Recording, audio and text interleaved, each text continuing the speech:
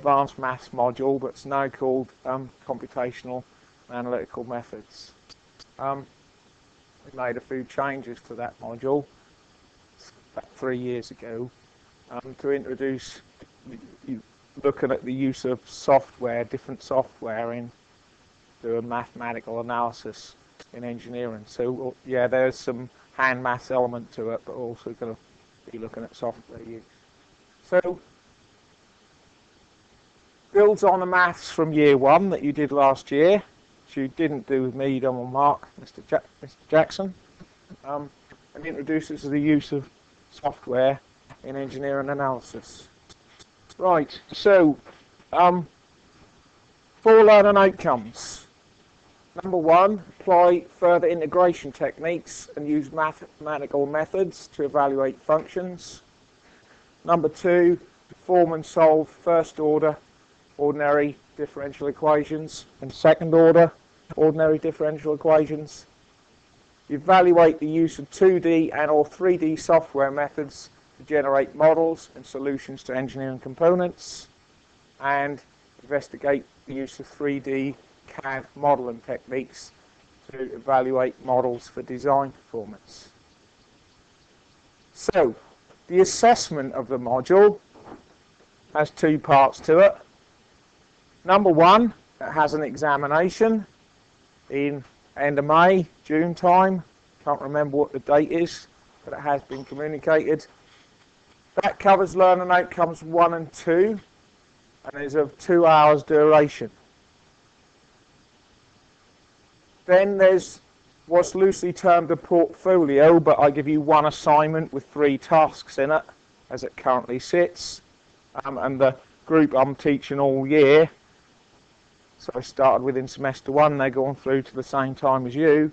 They've just handed that in. Okay, so that's kind of the, the first half of the module, if you like.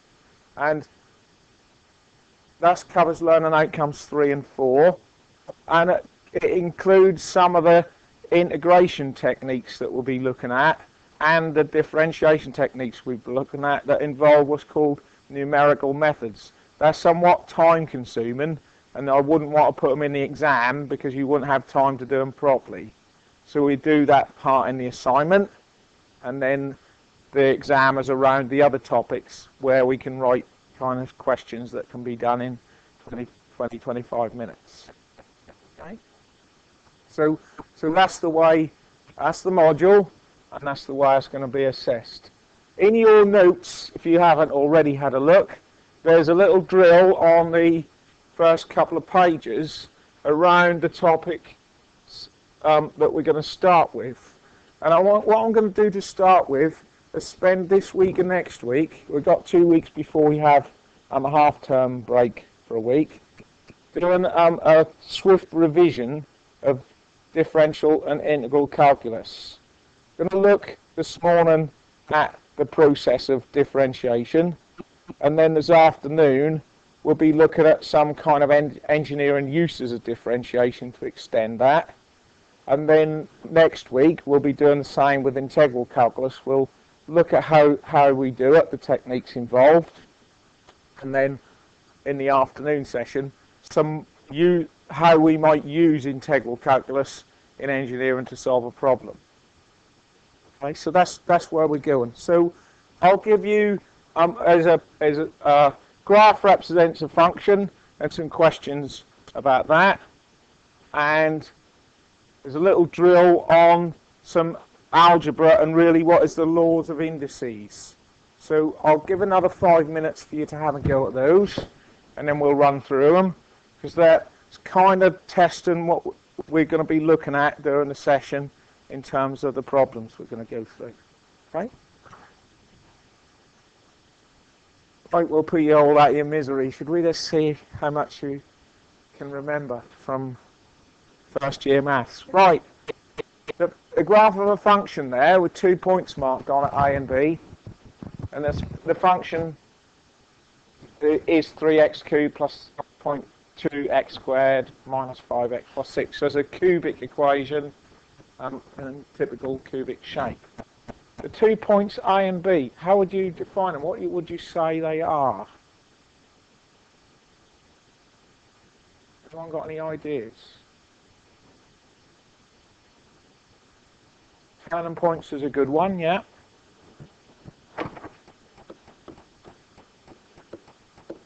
We'll be coming back to turning points um, this afternoon, identifying them. So they are turning points, but specifically, what are they? You could be a bit more specific than that.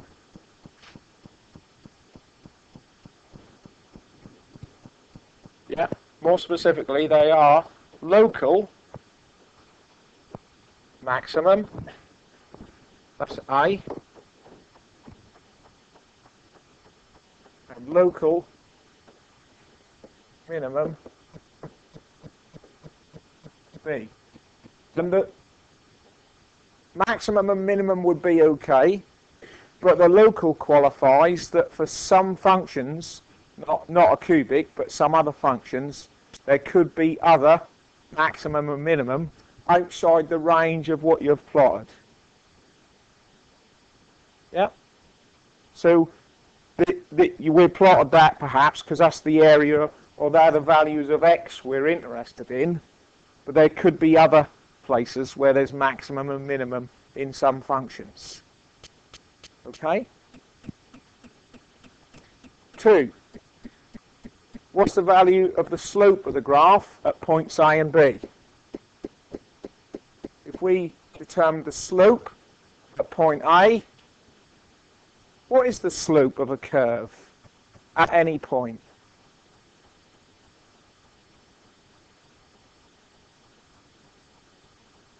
Remember the slope being a tangent at a point? We draw a tangent at a point. What a tangent means is away from that point, that's a right angle.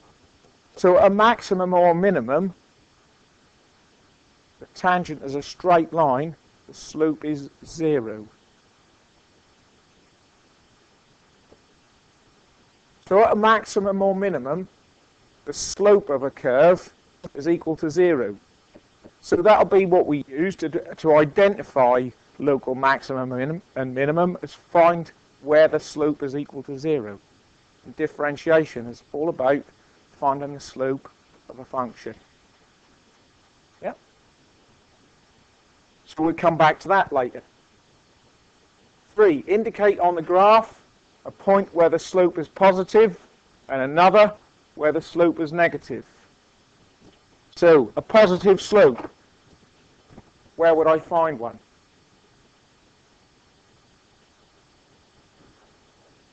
Sorry? Going up to A, yeah. So a positive slope, I'll do that in black, would be anywhere there. We get, so if we pick the point there, we've got a slope. Y is getting bigger as X gets bigger. That's what it's about. Yeah. There's another place where we can have a positive slope, and that's anywhere from B upwards in the area we're looking at. A point there, for instance, of a positive slope. Okay, what about a negative slope? Between the points A and B. So we're looking at a negative slope anywhere in that area there. Between those points. Yeah? So that's another important point about finding the maximum and minimum and whether, or finding the turning point. Finding the slope is equal to zero will tell you you've got a turning point.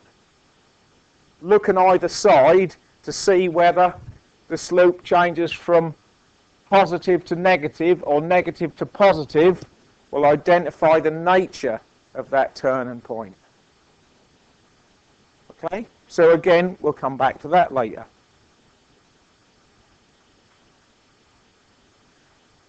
How do we represent the slope of the graph in mathematical notation?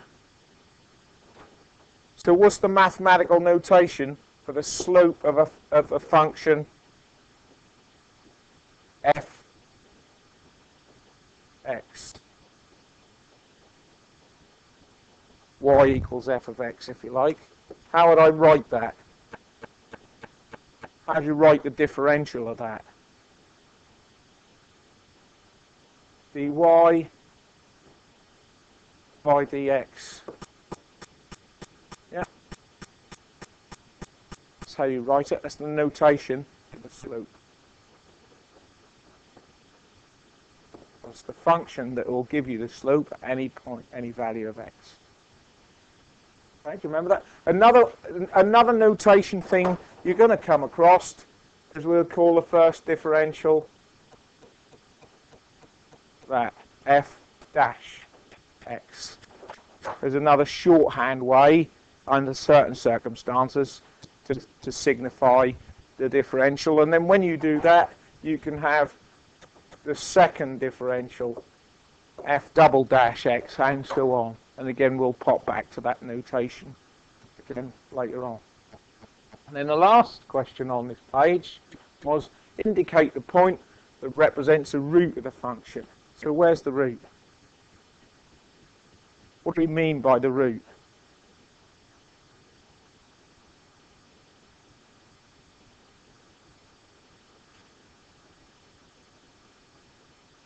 What's what does it mean to find the roots of a quadratic equation?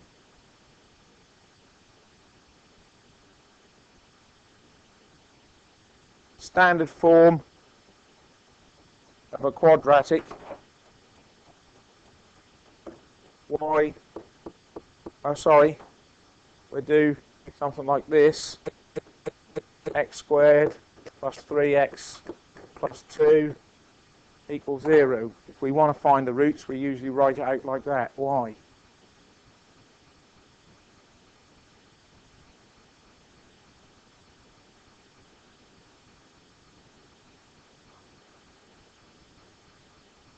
Got it. It's the value of the roots are the value of x when y, if you're using x and y as your two your dependent and independent variables, the value of the independent variable when x is equal to sorry the, the value of the independent variable when the dependent variable is equal to zero. So when y is equal to zero. So you're looking when you're looking to find the roots, you're looking to find the point where you cross the x-axis. Point or points. Okay?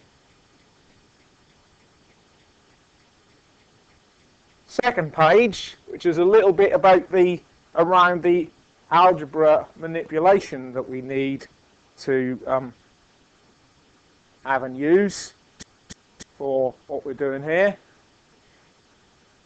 What does x to the 1 equal? x. Yeah, anything to the power of 1 is equal to itself. Yeah, but it's useful to remember that if you've got a number in your in an equation or a variable on its, on its own, you can write it as x to the 1 or y to the 1 or z to the 1, whatever that is. It's useful to be able to, to remember that you can do that. All right, when you're differentiating and integrating. Square root of 9. 3. Next to the power 0. Yeah, any number to the power 0 is 1. Another useful tool to remember that you can write 1 as being equal to x to the 0 okay? or any other variable to the power zero you want to give it. The cubed root of 27 is also 3. Yeah. How do we write that in non-fraction form?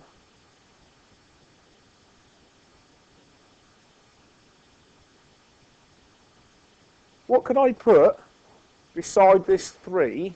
Just write that a bit bigger so that it still equals 3.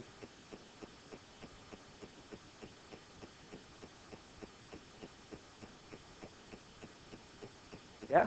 What could I put with, I need an x with it.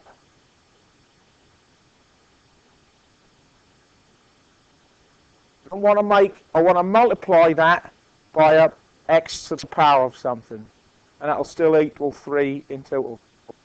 x to the 0. If I write that as 3x to the 0, right, then laws of ind think about the laws of indices regarding division. I've got x, forget the 3 for a minute, the 3 is on its own. x to the 0 divided by x to the 3. Sure?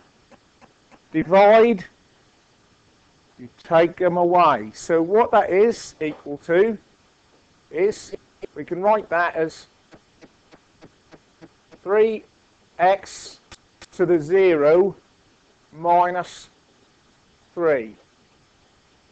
Yeah? None. 3.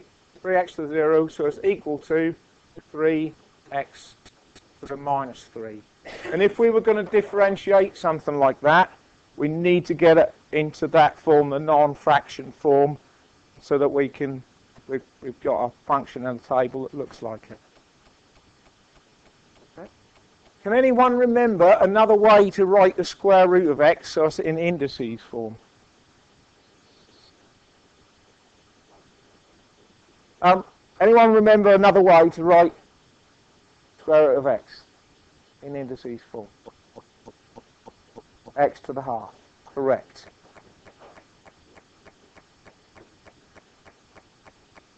Right? And if you can remember that one, it tells you, for one like this, where the 2 goes and where the 3 goes in a fraction. Because that is, the denominator is the value of the root, the degree of the root, the numerator is the indices of the variable inside. So that's going to be x to the power of 2 over 3. So remembering the square root 1 gives you that hook into what any other one is, nth power of a number to the power of another index. Okay? And again, if you want to differentiate a function that's got that in it, you're going to need to put it in that form. Okay? So that's a little bit of a, by way of introduction of some of the techniques we're going to need to do this differential calculus. On the next page, what you've got is a table of standard derivatives. So this is the Bible, really, of the differentiation that we're going to do in this module. In the exam, you will have that table. It's standard table of derivatives, well, a shortened standard table of derivatives. Annoying me at the moment, that noise. Anyway, um, what we're looking with any function is to get into one of these forms so that we can then differentiate by what's indicated on the right. So we'll come, be coming back to that a lot. It might well be worthwhile you producing some kind of table or copying that and putting it right in the front of your folders laminated or something so you've always got table derivatives, the formulae we're going to look at later and the integral stuff we look at next week in one place and handy for when you're doing your integration and differentiation. Okay? So I, I recommend that, but it's better that you put it in the form that you like it than it is me put it in a form that you don't want. Okay? That, that's what it is, and I do keep repeating it as we go through the notes anyway. Right, so if we look at that table, the first thing we're going to look at is how do we use this form to find the derivative of functions in the form of a times x to the power of n. Yeah, so they're the, they're the first examples we're going to look at. And the first one, it says find the differential coefficient. What that means is find dy by dx for these functions. So number one, or i, we've got 12x to the power 3. Okay? And in the table, where y is equal to ax to the n,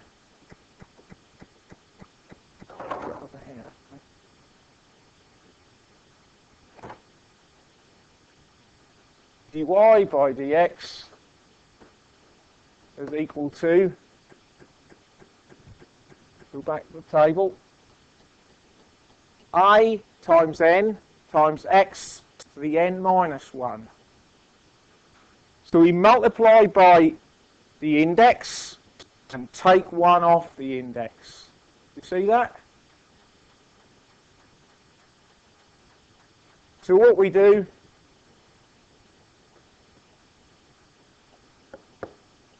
with this is we write 12, we multiply by the current index, 3,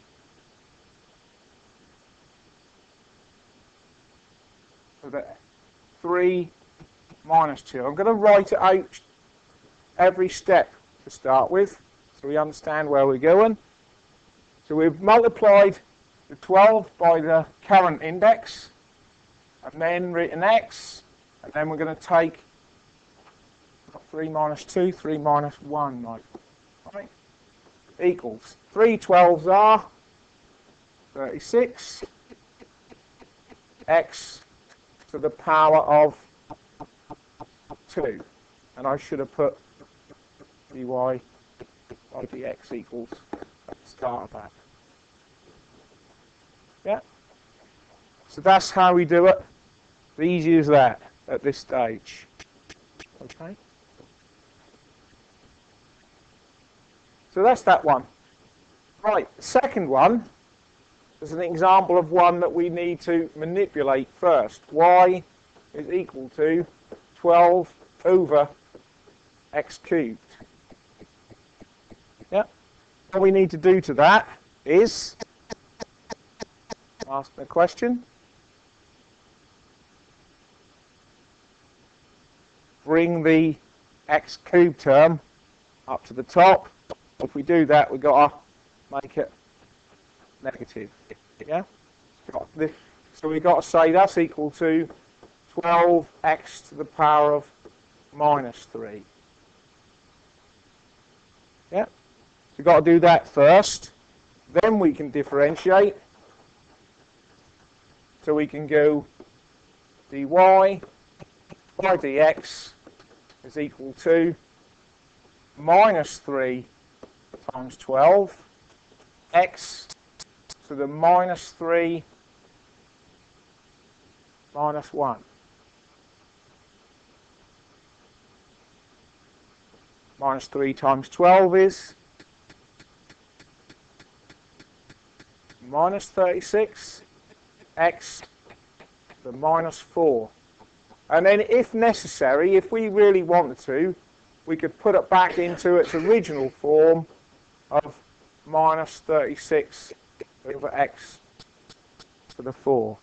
But uh, it, in, in an exam question like that, if you got an exam question like that, either that or that would be the right answer and you'd get all the marks. Okay? Unless it's specifically asked for the answer to be in its original fractional form, either answer would do. Everybody okay with that so far? How to do ax to the n in that instance? If I remember rightly, the next slide we're going to look at a couple of special cases using ax to the n. Differentiate y equals 6. So, without going back to the table, a y is equal to 6. How could I write that so I've got x in it and I still equal to 6? Yeah, we could write that as y is equal to 6x to the 0. Yeah? If we then apply the ax to the n rule that we've been using, so let's write this down dy by dx is equal to 0 times 6 times x to the 0 minus 1. Yeah? none times 6 is none, and none times x to the minus 1 is nothing times any number is. So if there's a constant we're differentiating it disappears. It becomes zero. And if you think about it if we draw a graph of y is equal to 6 for any value of x y is equal to 6 it's a straight line from left to right and the slope is equal to 0 so in functions where you've got a constant when you differentiate constants disappear. Okay?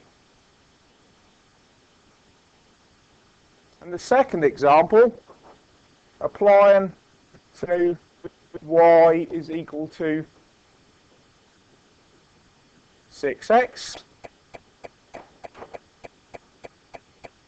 How could I write that and it still be 6x?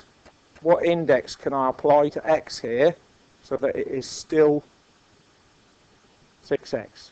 Yep, x to the 1. We don't normally write the 1 in, but it's there. So when we differentiate that, dy by dx is equal to 1 times 6 to the 1 minus 1. Yeah. That's equal to 6 x to the o, and x to the, x to the o is equal to what, Charlie? Careful. Any number to the power of none is 1. Yep. So where you've got a constant times your variable, like 6x, 12x, the variable disappears, and you get a constant when you differentiate. A constant slope means our function is what in nature?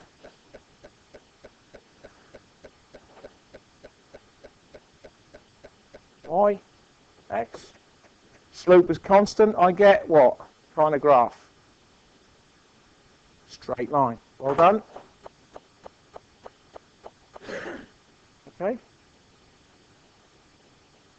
So if we if we differentiate a linear function, a straight line, we end up with a constant. And that those that example proves that. So we've proven that constants disappear and a constant multiple of our variable, or a linear function, becomes a straight line when we differentiate. Okay, everyone happy with those two specific special examples? And if you look in your table again,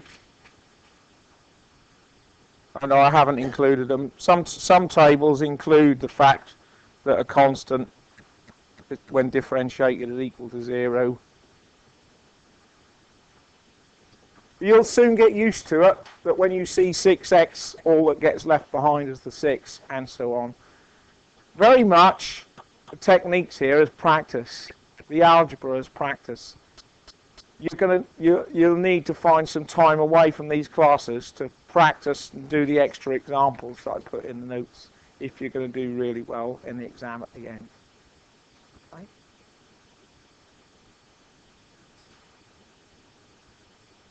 So, a bigger problem. Differentiate that function. It's got four terms in it. Okay? What we do in that case is we can split it up. They're all added together. So we've got y is equal to 5x to the 4 plus 4x minus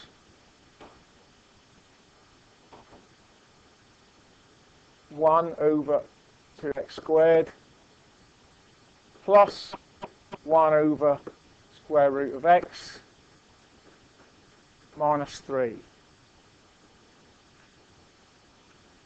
If you've got a function that is a sum of various terms of x there.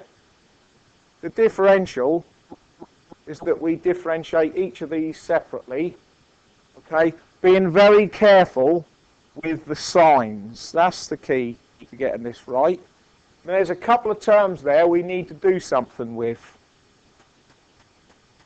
So 5, 5x to the 4 is okay.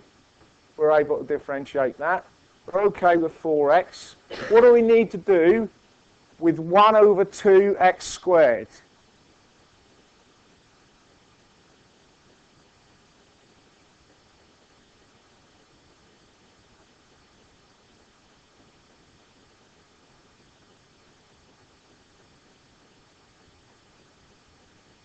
What do I do when I got the x term as, as the denominator fraction.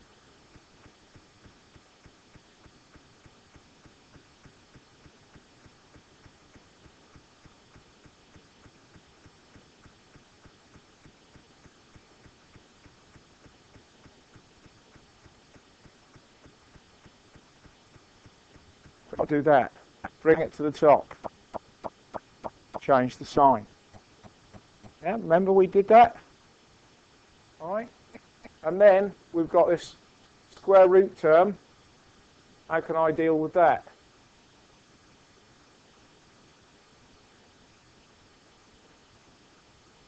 Yeah, 1 times x to the, that's a half underneath. What is it on top? Minus a half. Yeah, minus 3. Okay? Take you're going to go through this one on a step by step, these examples, and then you're going to have a go yourselves. Alright? So, first term, dy by dx is equal to. Now I'll tell you what, have a go at that. Five minutes.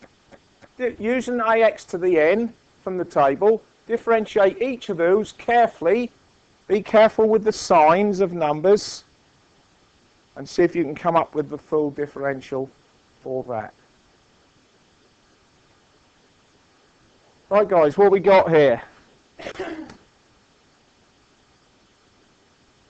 How, how do we write this out? I'm Going to write it out in full hand. So it's going to be 4 times 5 x to the 3. Or I'll put 4 minus 1. Yeah, let's be... We'll soon get away from needing to do that, I think. And then plus... What do we know 4x becomes? Without really writing out longhand. 4. Okay. Now, here's a tip be careful about writing the minus sign in there now. That sign goes with that half in terms of what we're doing now. So we've got minus 2 times minus a half. What does that equal?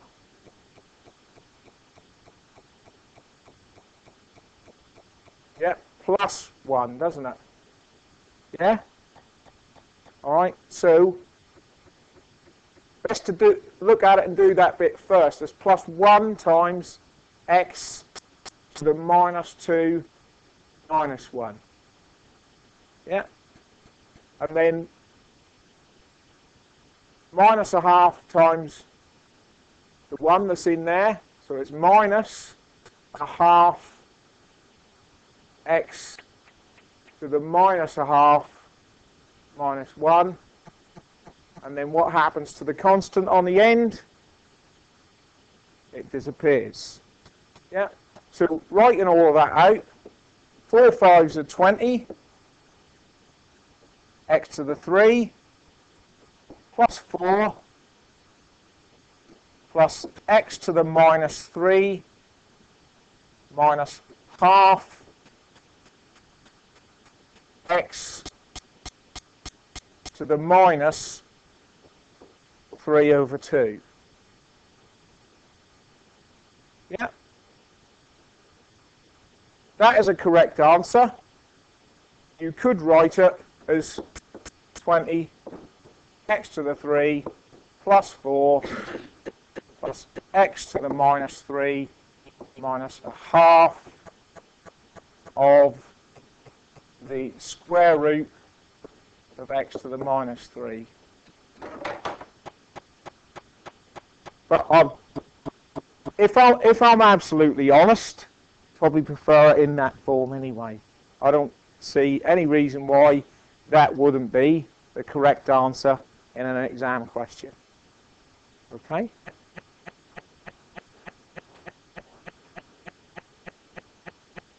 Uh, no, you just drop it.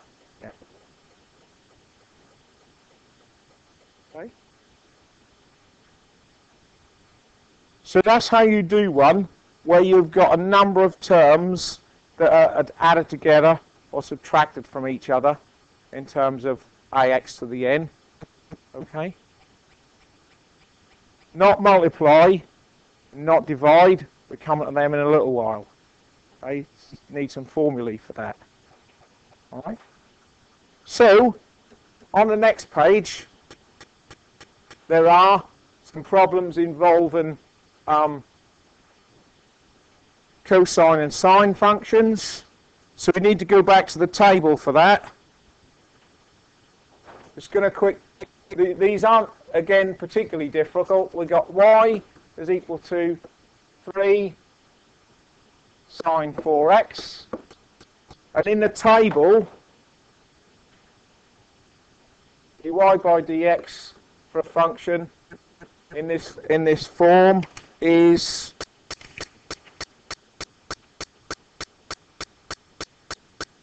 i cos ax. Yeah, so we look at that function. i in this case is the 4 It's inside the sine function. So dy by dx is equal to 4 times 3 times the sine, uh, cos of 4x equals 12 cos 4x. Yep. And then the co for the cosine function, very similar. b y is equal to 2 cos 3t. But this time, dy by dx is equal to minus a sine ax. So going from cosine to sine changes the function from positive in front to negative in front. So a in this case is the 3 inside there. So dy by dx is equal to minus 3 times 2 sine 3x equals minus 6 sine 3x. Okay? Everyone happy with that? And if there isn't an I, if there's no constant in front of the x term there, it's actually 1. So that would, if the 3 weren't there, it would be minus 1 times 2. So it changes the sign. What I'm saying, Kieran, you're looking puzzled. Oh, I've written, oh, sorry. I've stymied my own self. dy by dt, t that's what I get for putting an example in with a different um, independent variable letter, isn't it? dt, dt, that should be t. dy by dt, that's t,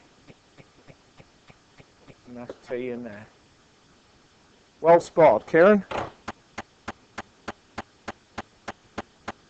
All right, So sine and cosine functions aren't particularly difficult. And if you've got a x to the power 3 term plus a sine or cosine term, you just deal with each of them separately and add them together like we did in the previous example.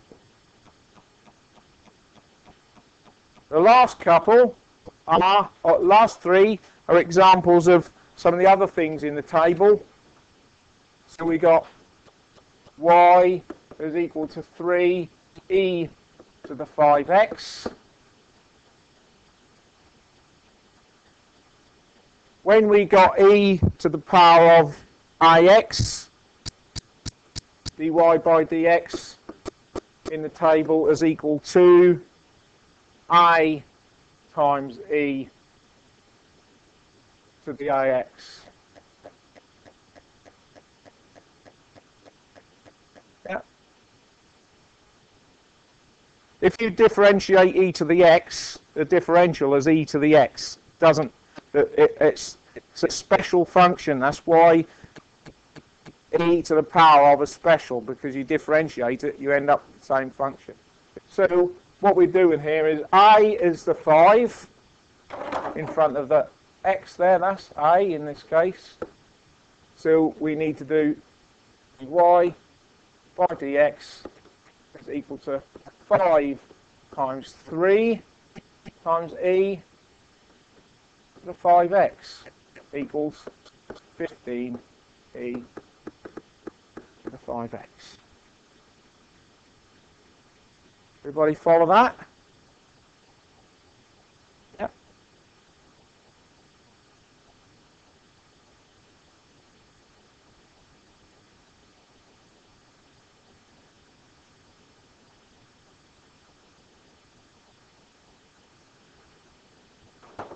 Different independent variable, Kieran, eh? B. F theta is equal to 2 over e to the 3 theta. What do I need to do to that to get it in a form that we can differentiate?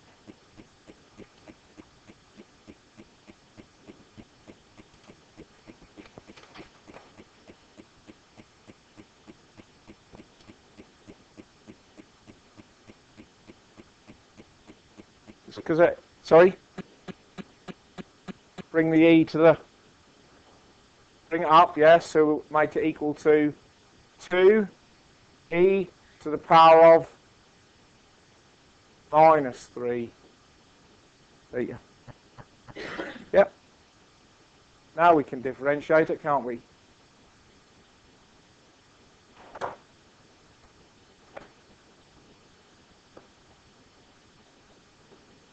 perhaps I ought to put use the right notation here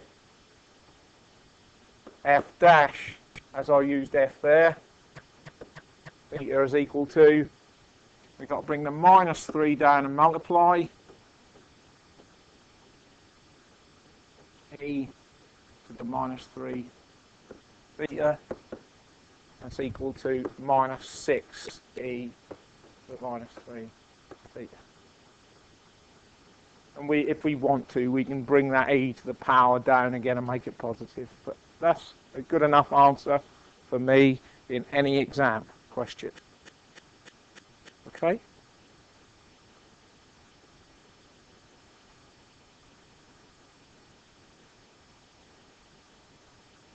C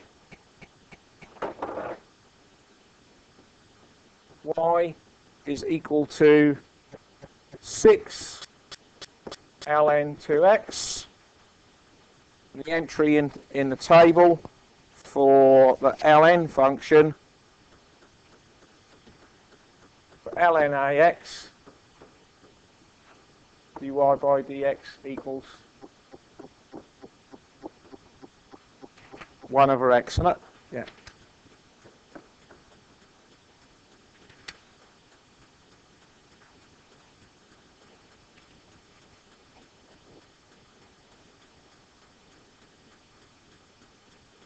Okay, so dy by dx here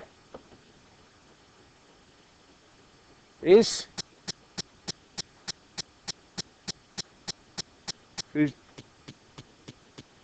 Nothing to do with a. We don't bring a out and multiply or anything else. We've got ln of a multiple of x. Doesn't make any difference. So what this is is 6 times 1 over x equals 6 over x.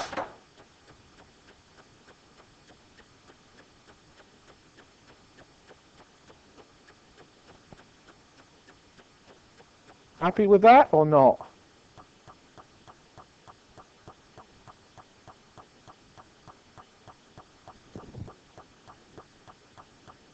Yeah, the two, the two just gone.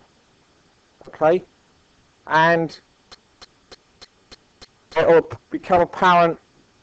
I got asked a question in one of the other groups, the first year group. Once we started doing integration, how does that two two come back? It does come back, but it comes back as a log of a number that is still a constant. So more about that next week. But that's what happens. The two just goes. Okay?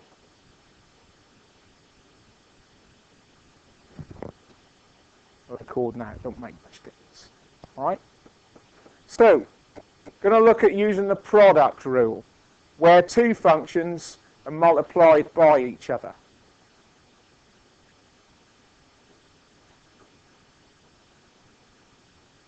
I'll do the first one, and I'll get you to do the second one. Right.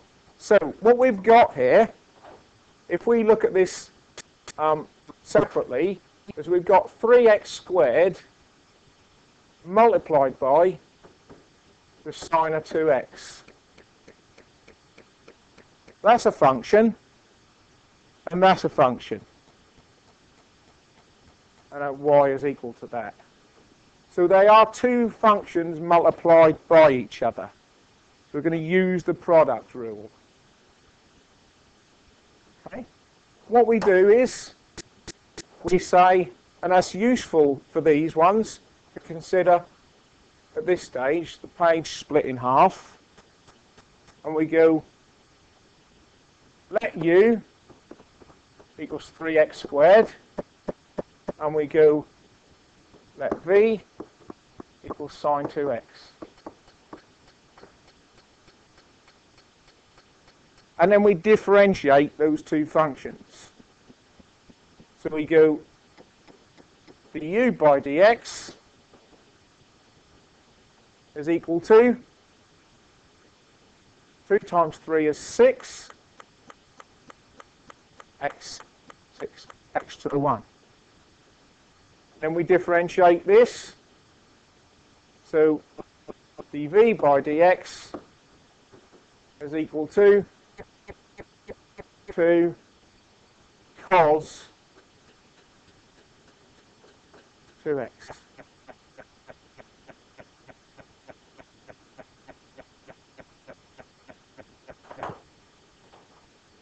Then, simply, I won't that word about maths, it's all simple. Plug those parts into that formula up the top there and simplify. So we start here, dy by dx is equal to, I'm not going to write the formula out, u, so we write whatever we called u, 3x squared. I find it useful to put each term in brackets at this stage. And then you make it easier to see what you've got to do when you simplify. 3x squared, u, multiply that by dv by dx. So we multiply that by 2 cos 2x plus whatever we call v sine 2x multiplied by du by dx 6x.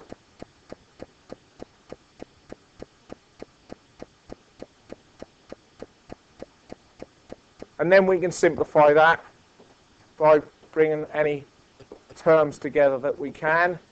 3x squared times 2, 6x squared, cos 2x, plus 6x sine 2x. That's the answer.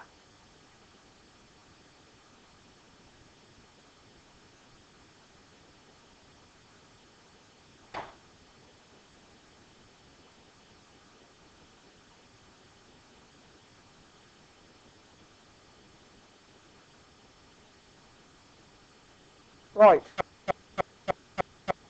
The second problem on the page says determine the rate of change of voltage given V is equal to 5t sine 2t volts. So there's your function.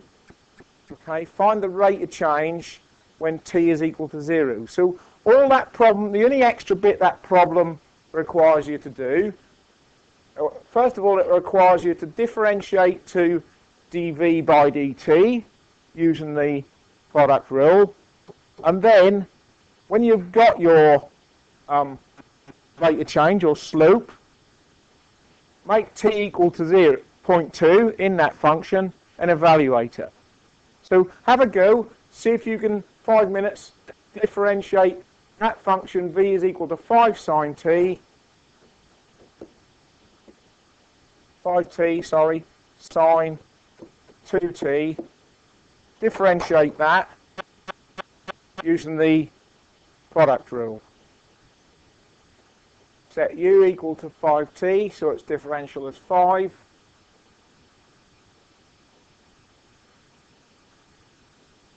Set uh, v is equal to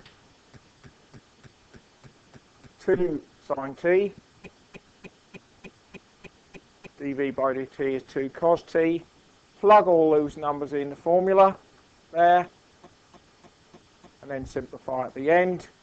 And then the last bit was to replace, so we go when t is equal to 0.2 seconds, dV by dt, the rate of change of voltage with time is equal to 10 times 0.2 cos 2 times 0.2 plus 5 sine 2 times 0.2.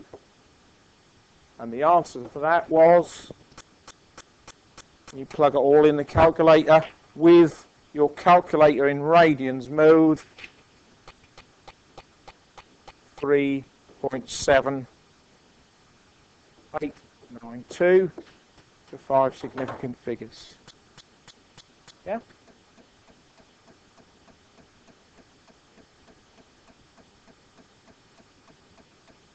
Okay.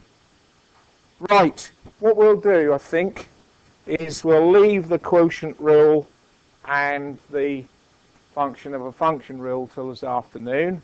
On the next page, there's a couple of examples for you to finish off by having a go at. Okay, and in traditional John Bird's book form, the answer you should get is on the right hand side. So what you just got to do is show that you see how you can get to that by using the product rule.